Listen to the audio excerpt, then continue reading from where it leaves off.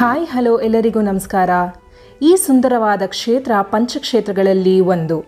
And ಇದು ಪಶ್ಚಿಮ ಘಟ್ಟದ ಹೃದಯ ಭಾಗದಲ್ಲಿ ಇದೆ. ಈ ಕ್ಷೇತ್ರ ಭದ್ರಾ ನದಿಯ ದಂಡೆ ಮೇಲಿದೆ. ಹೌದು ಸ್ನೇಹಿತರೆ, ಸಹ್ಯಾದ್ರಿಯ ಕಿರೀಟ ನಮ್ಮ ನಿಮ್ಮೆಲ್ಲರ ಕಳಸ. ಸೊ ನಾವಿವಾಗ ಕಳಸಕ್ಕೆ ಹೋಗ್ತಾ ಇದ್ದೀವಿ ಹೊರನಾಡು ಮುಖಾಂತರ. ಹೊರನಾಡು ದರ್ಶನ ಆಗಿದ ನಂತರ ನಾವು ಕಳಸದಲ್ಲಿರೋ ಕಳಸೇಶ್ವರ ದರ್ಶನ ಪಡೆಯೋದಕ್ಕೋಸ್ಕರ ನಾವು ಈಗ ಕಳಸ ಕಡೆ ಹೊರಟಿದ್ದೀವಿ. ಕಳಸ ಇರೋದು ಚಿಕ್ಕಮಗಳೂರು ಜಿಲ್ಲೆಯಲ್ಲಿ. ಚಿಕ್ಕಮಗಳೂರಿಂದ ಸುಮಾರು ಏಯ್ಟಿ ಫೈವ್ ಕಿಲೋಮೀಟರ್ಸ್ ಆಗುತ್ತೆ ಕಳಸನ ರೀಚ್ ಆಗಬೇಕು ಅಂತಂದರೆ. ಫೈನಲಿ ನಾವು ಕಳಸ ರೀಚ್ ಆದ್ವಿ ಕಲಸೇಶ್ವರ ದೇವಸ್ಥಾನಕ್ಕೆ.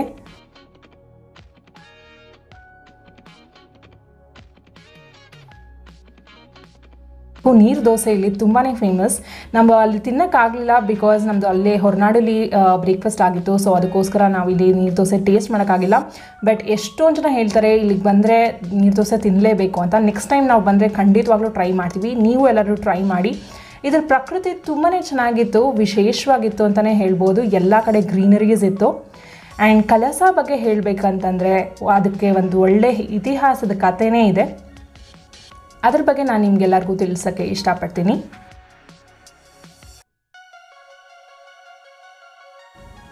ಸ್ಕಂದ ಪುರಾಣದ ಪ್ರಕಾರ ಪಾರ್ವತಿ ಮತ್ತು ಪರಮೇಶ್ವರರ ಕಲ್ಯಾಣ ಕಾಶಿಯಲ್ಲಿ ಆಗಿತ್ತು. ಅದು ಆಗೋ ಸಂದರ್ಭದಲ್ಲಿ ಎಷ್ಟು ಜನ ಬಂದಿದ್ರು ಅಂದರೆ ಮದುವೆನ ನೋಡೋದಕ್ಕೋಸ್ಕರ ಎಲ್ಲ ಭಕ್ತಾದಿಗಳು, ದೇವಾನು ದೇವತೆಗಳು ಬಂದು ಅಲ್ಲಿ ಸಾಕ್ಷಿಯಾಗಿದ್ದರು ಎಷ್ಟು ಜನ ಆಗೋಗಿದ್ರು ಅಂದರೆ ಭೂಮಿದು ತೂಕ ಲೈಕ್ ಒಂದೇ ಕಡೆ ವಾಲ್ಬಿಡ್ತು ಅದು ನಾರ್ತ್ ಇಂಡಿಯಾ ಕಡೆ. ಯಾಕೆಂದರೆ ನಾರ್ತ್ ಇಂಡಿಯಾದಲ್ಲೇ ಅಲ್ವಾ ಕಾಶಿ ಇರೋದು. ಸೊ ಅಲ್ಲಿ. ಅದಕ್ಕೋಸ್ಕರ ಅಂತ ಶಿವ ಅಗಸ್ತ್ಯ ಮುನಿಗಳಿಗೆ, ನೀನು ಸೌತ್ ಇಂಡಿಯಾ ಕಡೆ ಅಂದರೆ ದಕ್ಷಿಣ ಕಡೆ ಹೋಗಿ ನೀನು ನಿಂತ್ಕೋ. ಆವಾಗ ಭೂಮಿ ಭಾರ ಒಂದೇ ಕಡೆ ವಾಲಲ್ಲ ಸಮತೋಲನ ಆಗುತ್ತೆ ಅಂತ ಹೇಳ್ತಾರೆ. ಅಗಸ್ತ್ಯ ಮುನಿಗಳಿಗೆ ಎಷ್ಟು ಶಕ್ತಿ ಇತ್ತು ಅಂತಂದರೆ ಎಲ್ಲರದ್ದು ತೂಕನ ಇವರೊಬ್ಬರೇ ಆರಾಮಾಗಿ ಬ್ಯಾಲೆನ್ಸ್ ಮಾಡ್ಬೋದಾಗಿತ್ತು. ಒಂದು ಕಡೆ ಬಂದು ಸೊ ಅದಕ್ಕೋಸ್ಕರ ಅಂತ ಶಿವ ಅವ್ರಿಗೆ ನೀನು ದಕ್ಷಿಣ ದಿಕ್ಕಲ್ಲಿ ಹೋಗಿ ನಿಂತ್ಕೊ ಅಂತ ಹೇಳ್ತಾರೆ. ಆವಾಗ ಭೂಮಿ ಸಮತೋಲನ ಆಗತ್ತೆ ಆ್ಯಂಡ್ ಅನ್ಬ್ಯಾಲೆನ್ಸ್ ಆಗೋದು ತಪ್ಪತ್ತೆ ಅಂತ ಹೇಳ್ತಾರೆ. ಅದಕ್ಕೆ ಅಗಸ್ತ್ಯ ಮುನಿಗಳು ಒಪ್ಕೊಂಡು ಅವರು ಅದೇ ಥರ ಪಾಲಿಸ್ತಾರೆ. ಅದನ್ನು ಪಾಲಿಸೋಕ್ಕಿಂತ ಮುಂಚೆ ಒಂದು ಕಂಡೀಷನ್ ಹಾಕ್ತಾರೆ ಅವರು.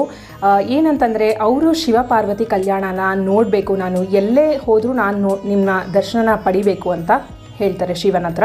ಸೊ ಶಿವ ಏನು ಹೇಳ್ತಾರೆ ಅಂದರೆ, ನೀನು ಎಲ್ಲೇ ಹೋಗಿ ನಿಂತ್ಕೊಂಡು ನಮ್ಮನ್ನು ನೆನೆಸ್ಕೊಂಡ್ರೆ ನಮ್ಮ ಕಲ್ಯಾಣ ದರ್ಶನ ನಿನಗೆ ಆಗತ್ತೆ ಅಂತ ಹೇಳ್ತಾರೆ. ಸೊ ಅದಕ್ಕಂತ ಅಗಸ್ತ್ಯ ಮುನಿಗಳು ದಕ್ಷಿಣ ಕಡೆ ಸಾಕ್ತಾರೆ.